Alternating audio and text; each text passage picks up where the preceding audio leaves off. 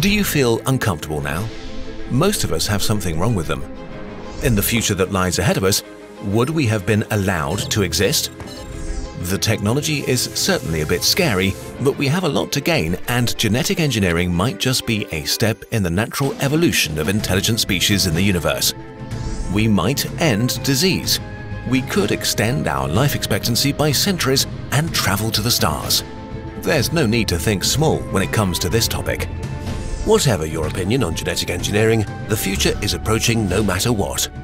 What has been insane science fiction is about to become our new reality, a reality full of opportunities and challenges.